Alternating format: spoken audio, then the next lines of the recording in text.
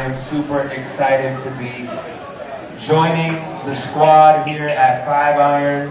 This is the sanctuary.